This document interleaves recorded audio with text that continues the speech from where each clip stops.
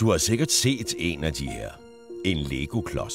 Men har du nogensinde spekuleret på, hvordan det hele startede, og hvorfor det hedder Lego? Faktisk er navnet meget ældre end denne her plastikklods. Er du nysgerrig? Lad mig fortælle dig, hvordan det hele begyndte.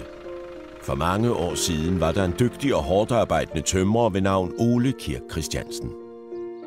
Ole var en respekteret tømrer med sit eget firma. Men tiderne var strenge, så han havde ikke mange penge og måtte afskedige sin sidste medarbejder.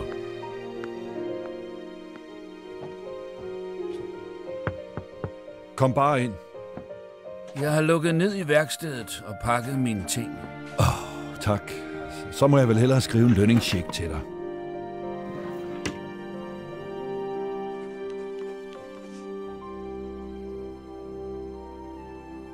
Ha' det godt.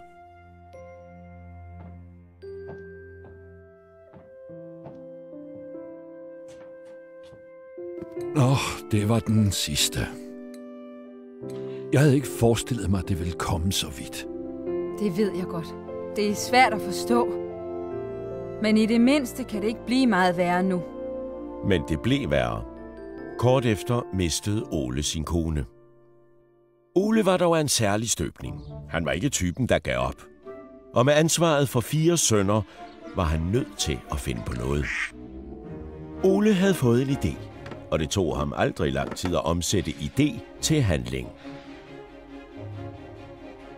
Oles lille opfindelse havde gjort hans drenge så glade, at han tænkte, at han måske skulle begynde at lave legetøj. Ole besluttede sig for at forsøge. Heldigvis havde han gemt en masse træ fra tiden som tømmer.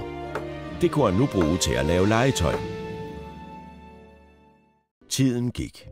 Men legetøjet solgte ikke så hurtigt, som de havde forventet. Ole tænkte, at virksomheden måske havde brug for et godt navn. Hvad skal det være? Det skal være et kort ord. Jeg vil have fornemmelsen af at lege godt. På dansk siger vi jo gerne, leg godt. Hvad skal det være? Hvad skal det være?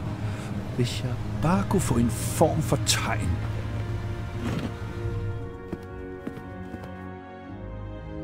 Lego. Som du ser, fandt Ole selv på et velegnet navn. Men hvad han ikke vidste var, at på latin betyder Lego, jeg sætter sammen.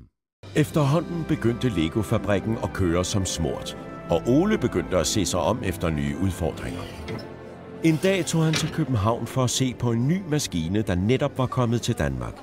Det var en plaststøbemaskine, og Ole var meget begejstret for den. Skal vi købe den? Det er et godt tilbud. Den vil medføre en masse muligheder. Tja, den lyder interessant, men det er mange penge. Det tolker jeg som et ja. Da plaststøbemaskinen endelig ankom, begyndte Ole at lave nogle plastikbamser og rangler. Men han havde stadig de plastikklodser, han havde fået på messen.